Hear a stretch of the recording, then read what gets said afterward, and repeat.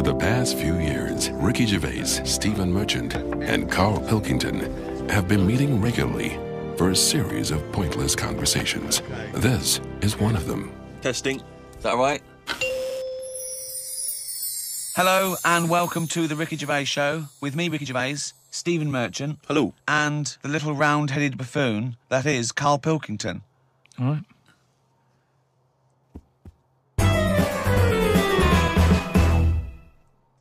Um, remember, we were talking a while back about the uh, questionnaire that is often featured at the end of the TV program Inside the Actors Studio. Oh, yeah. Where the host James Lipton always asks a ser- the same questions to every guest, and it's just supposed to sort of you know get their creative mm, you know juices flowing, their mind working. We we did ask Karl some of them. We we never completed the questionnaire. Oh, let's I thought carry I'd on with fire that a few more at him. And that'll also uh, introduce um, people to the, the way his mind works a little bit. Okay. What sound or noise do you love, Karl? Um, there isn't really one that, that I love. Nice noises, Yeah. like the ones you get. Like I like going in the park, right? And you go, oh, that's nice, isn't it? And you get like bird noises and stuff. But with those bird noises comes a bit of stress, right? Because I was in there the other day, and uh, like like I say, little bird noises and that, and a little robin was there, and I thought that's odd. That's out early, right? Because it's like sort of summertime and that. Sure. And then I thought, oh, that's nice. And I was watching it. And then it got like a little worm, right? Mm. And I was like, hey, put it down, right? Sorry, whoa! What do you mean? Because Why I are you didn't- interfering? Why were you interfering In nature. with a with a robin taking a worm? Just because it, it, it was a nice sunny day and that. And I thought, wor- you see, worms normally come out when it's raining, don't they? And you go, well, I bet they're happy to die in a way because it's chucking it down, it's miserable. They come to the top of the soil then, don't they? Yeah. When it's miserable. But it was a sunny day. That's they don't drown, I assume. No, it's not that, is it? It's just that they, they hear the water or something falling on the ground and they go up to see what's happening. what? No, no way. But why do they come up when they think it's raining? You're a worm, okay? It starts raining. Tell me your thought process. Well, you just kind of you're down there. You can't see anything. It's dark anyway. Yeah. So the the rain's coming down on the land. The worm goes, "What's going on?" What's going on? He wiggles up to the top. So what does he do? so it, so it, it goes up and it, it sort of sees it's raining, and then it goes back down again, doesn't it? But that's that's what I'm saying about. The what do you mean? What do you? What is? Sorry. What is this world where he goes? Oh, it's just rain again. Oh, so that's that's the four hundredth time I've been caught out this year. It's rain. I'll remember next time. I won't come up. How- how- how- what do you think uh, a worm is capable of in terms of cognitive thought? What do you mean? Well, a worm can basically uh, uh, tell certain chemicals and certain light patterns. That's a, that's all it is really. Yeah, and, and It's and not thinking. It's not choosing its favourite food.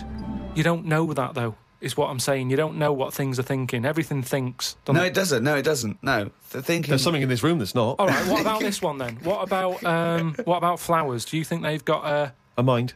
a, a feeling? Because here's here's something that Again, they, they use phototropism. They go towards the sun. They they, they close and All right, open. well, Can you they stop grow. using long words, Rick, like sun? Listen, I was. Do you know I've been to my mum and dad's? Right, I was Yeah. talking to my mum about stuff, All right. and she was saying how um, this flower uh, solved a crime. What happened was there was a murder Yeah. right in an office. So they said it's obvious that someone who works in the office did this murder because that person's only a sort of a typist. He has, you know, they've done nothing wrong. So they said that's narrowed it down, right? So this flower man came in, and he said, "I can sort this out for you." So they said, "What do you mean?" He said, "Well, during the murder, the plant was knocked off the cabinet, Yeah. right? Right. Um, and he had some special wires that you can put on Special the wires, flower, yeah. on the flower, and it's sort of shaking and stuff because even though you can't see it, flowers pick up bad vibes and whatever. If you shake a plant, it doesn't like it, Okay. right? So what happened was, uh, he said, "Right, what we'll do, we'll put the plant back on the shelf, Yep. we'll water it, we'll calm it down, then get Give it a nice cup of tea.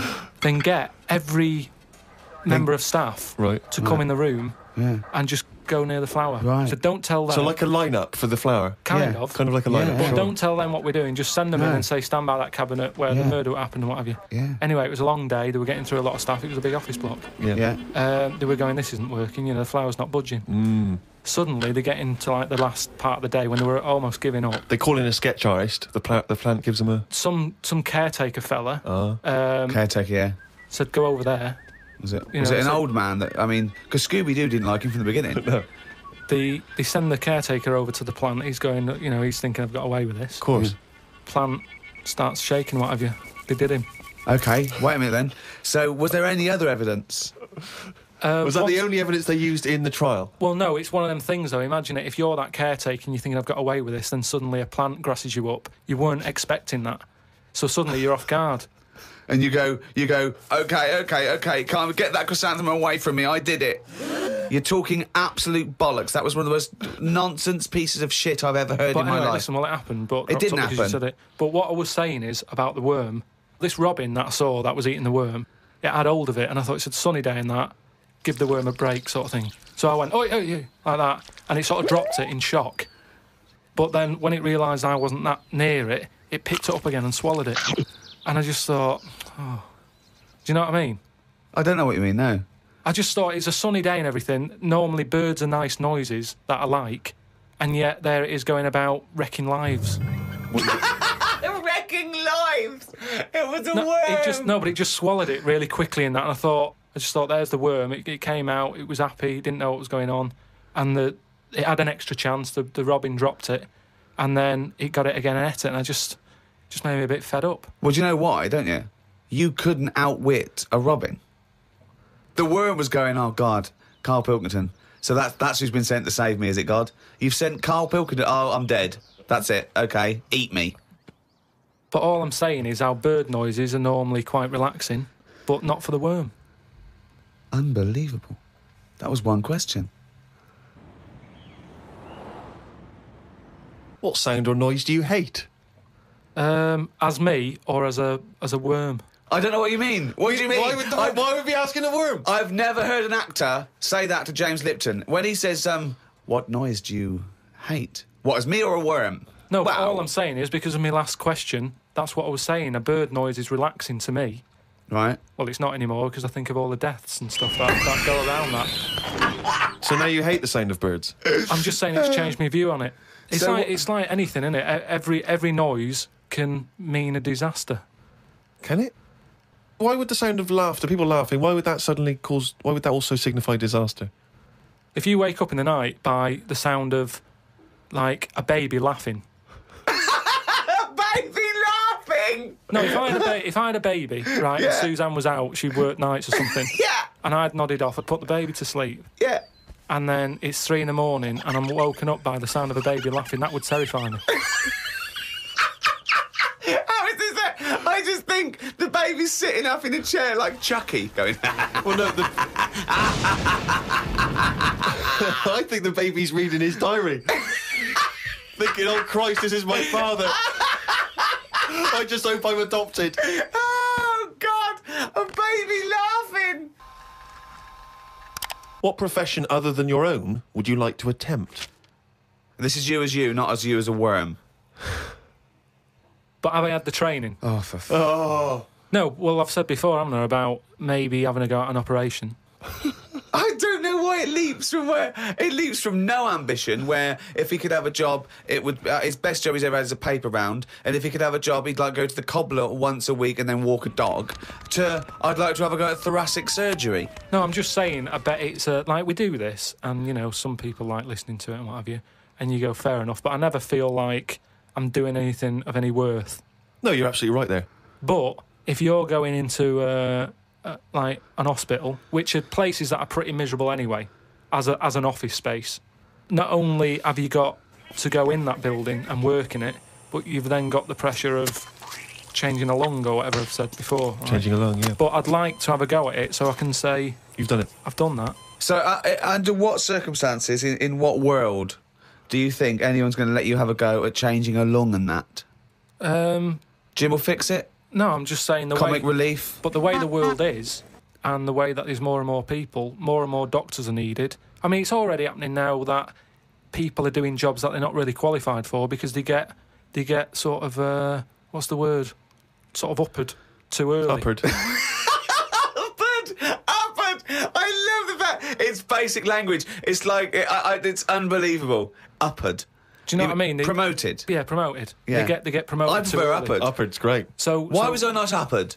Unbelievable. So do you know what I mean? I think because because more and more people are knocking about, we need more and more doctors. yeah. You get a job in a doctor's, you're going to be promoted sooner now. I think. Yeah. Well, what I'd do is I'd I'd I'd probably upper you, and then um, what's the word? You go away them. You I think it is you go away them. you you you leave the door. You you leave the door. You fire them. That's it. That's the word I'm looking for. So I'd, I'd upper you and go away the doctor, if anything. But I've been to, uh, you know how I don't like going to the doctors and stuff. Yeah. Right. Because Um, you're always scared that they might investigate below the bridge. Yeah, but I checked on that before I signed up to it, and then they said, right, before we can take you on as a patient, um, you've got to have a health check, right? Which I thought was odd because it's almost like saying if you're ill, we can't be having you coming here, right? But I said, right, okay, fair enough. What what is this health check? And they said, oh, you know, we just check your body out and make sure you're fit and healthy. And I thought that isn't enough information. You know, I want to know if it's the old finger trick, or and and I said, what what do you mean though? When you said health check, what do you do? And uh, she said, "Oh, it's just." I think she knew what I was getting at. And she said, "Oh, it's just the blood pressure, uh, your height, your height, your weight. That's about it." So I went went and had it and stuff. But you had to before you sort of said, "Right, I want this doctor." They give you loads of forms to fill out, right? And um, one of the things they did was, uh, if you die, what do you want to give away, right? Like a donor Mm. and what have you. And I thought I was I really thought about it for forty minutes or so. I didn't just rush into it. I was sat there thinking, you know, if I'm dead, does it matter and stuff. But I was really concerned when it said about the eyes. Right. right. Why? What do you mean? What? Because can they have your eyes after you die? It was it was I think it was fourth on the list. Why do you care about uh, uh, giving your eyes away when you're just, dead? Just because of that thing of you know we don't know for sure yet. I know that you poo poo it, but the afterlife thing. So why in an afterlife do do would you want your eyes more than your liver and your kidneys and your lungs and your heart? because ghosts don't eat, do they?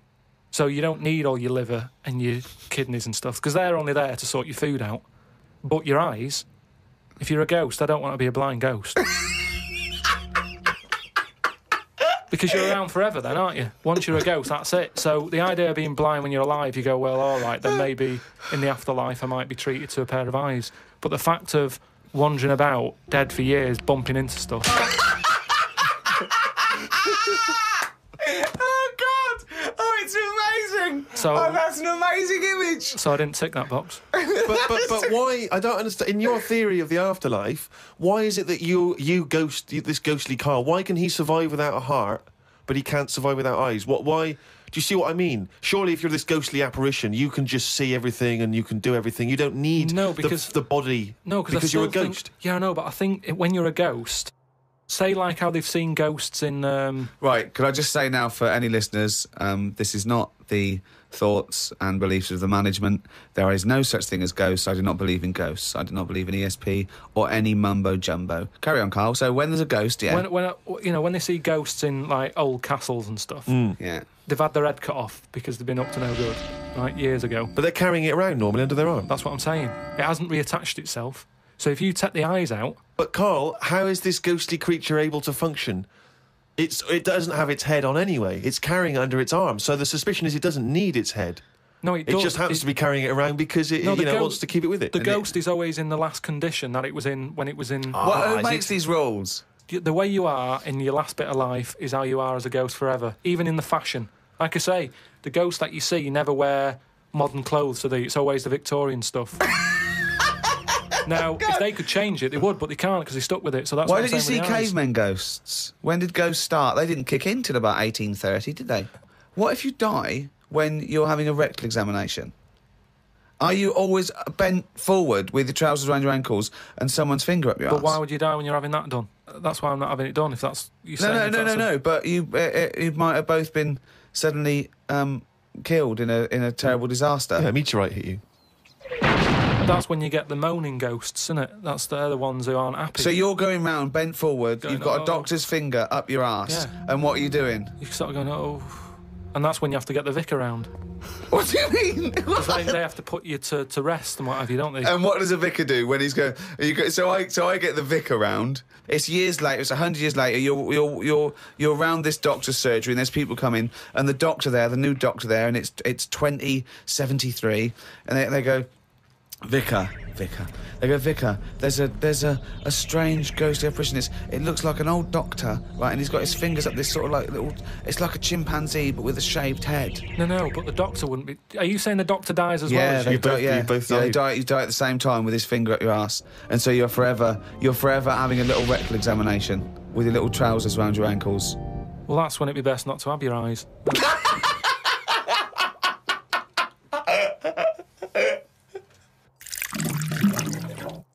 Rick, I know this is something you always get excited about. It's Karl's diary. Can we have a jingle? I don't believe it. He's got a mini gun. Thank you very much. Woke up to the news about an elephant in India that had sore feet, so the locals have made it a big pair of slippers. Tried to look online for a picture, but I couldn't find anything. Sure, they've made it two pairs of slippers. Uh, well, I'm only going by the facts in the diary, Rick, and I would have thought that they were absolutely bona fide and fact checked and completely Yeah. accurate. I'd be very Yeah. surprised if there's any mistakes in here. uh, I'm sure they've done this for an elephant before. Uh, I thought elephants have bad memories. No, Well, no, but fair enough. I thought elephants have bad memories. If they have, I'm guessing it's going to keep forgetting where it's left them. I mean, just to get the if it's a myth, the myth completely wrong. Yeah. elephants never forget. That's the saying. Not they always forget. So you can buy them slippers every year. Karl says I haven't had a pair of slippers for years. He thinks they're dying out. No, I love slippers. I love a pair of slippers, I love mate. a pair of slippers, mate. Just wear socks. Uh, slidey on a oh, no. slidey on a on a piece of lino. I know. And what about if you, you know, maybe opening a a, a brand new box of thumbtacks? you drop them all over the floor. You're trying to pick them up. Rick, I've got to pop across the road to get some milk, but it's, don't- it's right opposite. I'm sure you're not going to go in my socks, though, am I? But I don't want to put on the shoes. It's mad. No, no, no, no. Pop some slippers on. But perfect, yeah. Yeah. You shouldn't go out in your slippers Why not? Just across the street, mate, to get some milk. because they're inside shoes. You don't go rowing about on tarmac in slippers. That's basic.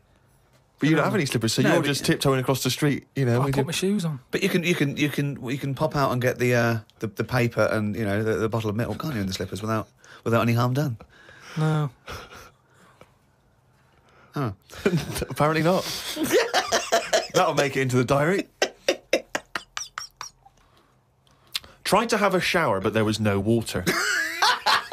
I love it when he calls me and things go wrong with the flat. But I like the fact that he tried to have a he tried to have a shower, but there's no water. How long did it take you before you realised he was there for 20 minutes? Yeah, after 20 minutes, he said, Suzanne, should I be dry? Yeah, I'm freezing cold. Yeah, no, no, you should you should be sort of wet and warm. right, there's no water then. Brilliant. I called the service charge people, but no one was about. Looked outside, but couldn't see any work going on. Great, innit? In India, they can sort out elephants with shoes. In London, we have no water. Hung about for a bit, but still no sign of any water. Brushed my teeth just using the paste and used the little bit that was in the kettle to have a wash. I was pretty chuffed that I thought of using that. Suzanne was a bit annoyed because she wanted a cup of tea. Uh, She said, go across the road and buy a big bottle of water. Not in your socks. Pop some slippers on. Go across the road and buy a big bottle of water, she said. I never thought of that. Oh. You had a wash using the water That's in the bottom of the kettle. Yeah, well, that's clean, isn't it? But how much? There's only a little drop in there. No, it's a big kettle. So, what did you just wash your face? Yeah. So you didn't you didn't wash your body or anything? Your genitals Well, were you couldn't, could you? filthy. You've got to look at what, what you can do with the water available. People in Africa and that short of water aren't wasting it, I know the feet are a bit dirty. They drink it. What do you mean? Had a look online to see what's been going on. Scientists say that Everest, brackets, the mountain, just in case you've confused that with any other Everests, Maybe the uh, double glazing people. Yeah. You say that pe- scientists say that Everest has grown a bit. The way they were talking about it, you'd have thought it's grown loads. It's only inches. No, isn't that? They found out that it's actually a couple of inches taller than they first thought because their methods of measuring are more accurate than they were 20 years ago. So it's bigger than they thought it was. It hasn't grown. No, I just think what's happened is at the bottom, because of like people, keep, people are always climbing up it, aren't they? Right? Yeah. So they're sort of wearing away the Don't soil at the talk bottom. rubbish. So their It's weight has also, it down. it's It's also just measured against sea level. It's not measured about when you get. Otherwise, they'd just dig a big hole, wouldn't they, and go right? It's down to here. If the, the, the No, peak is at- measured at, at against day, sea though, level. does it matter at the end of the day? No, but it's just nice to know, isn't it? Yeah, but that's all, what I'm saying is we don't need to know that. It's not going to put anyone off. Like Brian Blessed, who's always climbing up there for fun. He's not going to go, oh, I could handle it last year, but oh, two more inches. Forget that. Going to be shattered. so don't, don't worry about it. It doesn't matter how big it is. Something else though that's happened since, right? Um, they were climbing up there, and someone got near the top, and uh, they were sort of climbing up like that, holding the cliff edge and that. And they'd forgotten the flag. Had to go back. No, the, their hand hit the bit of rock, and it went like ding. I'm Like, what's that? Ding, ding. Put another hand up, ding, ding. Piano under there. They don't know how it's got there. Right, you're talking shit again. Someone's been tipping. Well, oh, right. Up Everest. Okay. The council won't even take away your washing machine unless you pay them. They're not going to sneak up Everest. No, this is the problem, isn't it? Because the council won't take anything. People are going, what can we do with this? Oh yeah. Well, I'll just, just, I'll tell you what. yeah, yeah. Just sneak up Everest. It'll take you nine days, and it may, you may die, but just pop it up on Everest. Well, I know for a fact that you've confused you've confused a few things there because I think the the piano being found was actually somewhere in Scotland, some kind of moor in Scotland, and they found a piano up there, hmm. and everyone said, "I don't understand how's the piano doing up here?" And it turned out that some guy, one of these people who like tries to break world records, had Hoax, it? dragged had Oh, right. dragged a piano up there as some kind of feat of endurance. Yeah. But thought I'll be damned if I'm going to take it back again, and just left it up there. It wasn't, you know, bloody tipping or aliens or anything. Some scientists have come up with a cure for bird flu. It's somewhat to do with some stuff in horses. They gave the flu to a mouse and then injected it and it's well again. I think we should stop coming up with cures for things as the germs are just getting stronger and stronger. I reckon by 2020, germs will be so big that we will be able to see them in the air. They will no longer be little particles. You wouldn't swallow one. If you did, it won't be the germ that will kill you. You'll just choke to death. I think that's that's how we'll die in the future. Choking on enormous On giant germs. germs. And they they'll be what? They'll be like rampaging around the cities. Will they You like? I'll tell you just- what, though, right? I'm getting worried now because the stuff he believes and thinks of, uh, it, it, it, I mean, it could be mental. Do you know what I mean? Though, like a proper paranoid sort of it, one of those people that soon going to live in a loft covered in tinfoil, Yeah. right? Um, and uh, uh, pages of the Bible all the way around the. You know, and Yeah. Suzanne's having to put on a, some sort of spacesuit to come in and give him his beans on toast. Yeah. And he's going to have to polish each bean. That's what that's Yeah. what scientists do, isn't it? They just sort of think a, think ahead of everyone else. That's what I'm doing. And the weird thing is, right, Steve? Um, sometime last week, um, there was a science piece which was close to what I'd already said. Yeah. That they've got some germs Sure. that like eating sugar, right? They stick them in a lunchbox with a chocolate bar. Within an hour, it was gone, right? And they say now these germs love chocolate and Did stuff. this scientist leave it near this fat scientist that works in the same laboratory? And he went, it's unbelievable. Uh, he said, Ted, he went, what? right, I put the chocolate bar in here with the germ. I came, it's gone. That's amazing. wow, that's brilliant, that. Do it again. What? Do it again. Leave another one, see if it happens again. So in the future, you're running around, and germs are. Eating chocolate. That's not science, that's Pac Man.